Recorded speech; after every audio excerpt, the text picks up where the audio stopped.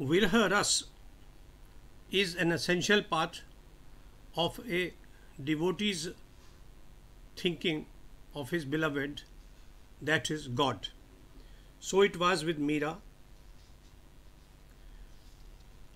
It is a feeling which lends poignancy to a poet's writing, that brings tears to the reader's eyes, and leads to catharsis in a tragedy. Virha also takes the form of karuna, that is compassion, piety, or tenderness. In our context, that is in the context of Meera's poems, Virha has a distinct connotation of being a feeling of love and separation, of abandonment, desertion, or even relinquishment. The abandoned lover burns in Virha Agni. It happened to gopis whenever deserted by Krishna several times, as narrated in Srimad Bhagavatam. Kalidas, the eminent Sanskrit poet, brings out the poignancy of Virha in Act 4 of his play Vikrama or Vashiyam. The king Pururavas has lost sight of Urvashi because she has been transformed into a creeper.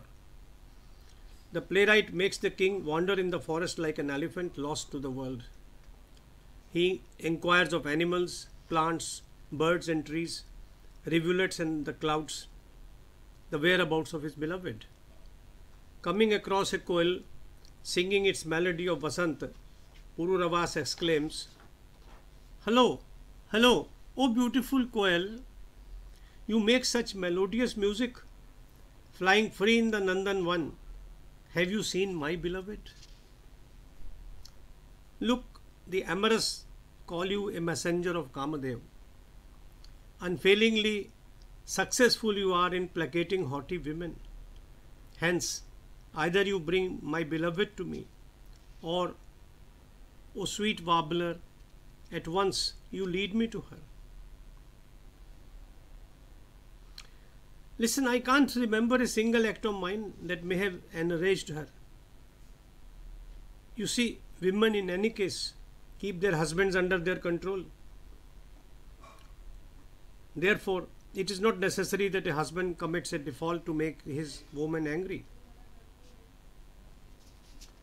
So it continues, and so it continued in Meera's poems.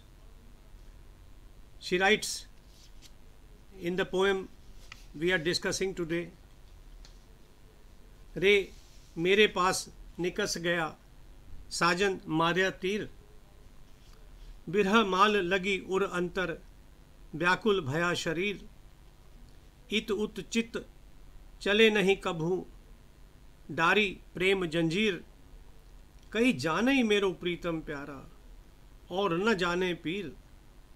कहाँ करूँ मेरो बस नहीं सजनी, नैन भरत दो नीर। मीरा कहे प्रभु, तुम मिलिया बिन प्राण धरत नहीं धीर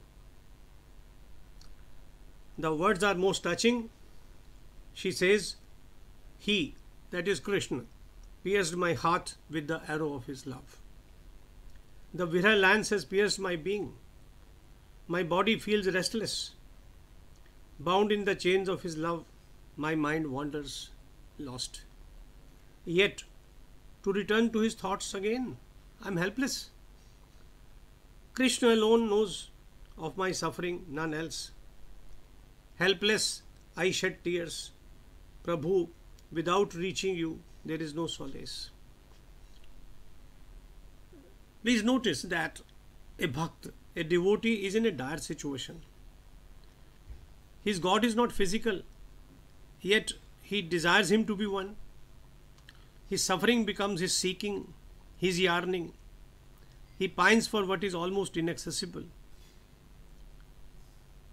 All around he finds seekers amongst human beings as well as in nature. Their suffering becomes his suffering. Meera reverts to this theme repeatedly. She is unwilling to accept that the union is difficult and impractical.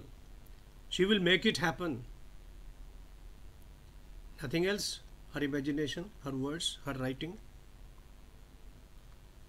Did not Krishna appear to the gopis even after ditching them while wandering in the Vrindavan forest? She had read Srimad Bhagavatam. Why not me then? she asks. Has he not hurt me by igniting my love? She questions. Her logic is that if her God has made her fall in love, made her suffer the pangs of separation, he is certain to bless her by his return, as Krishna did to his gopis. That is why she bemoans, Re mere par nikar gaya sajan marya teel. He pierced my heart with the arrow of his love. Jai Sri Krishna, Jai Sri Krishna, Jai Sri Krishna.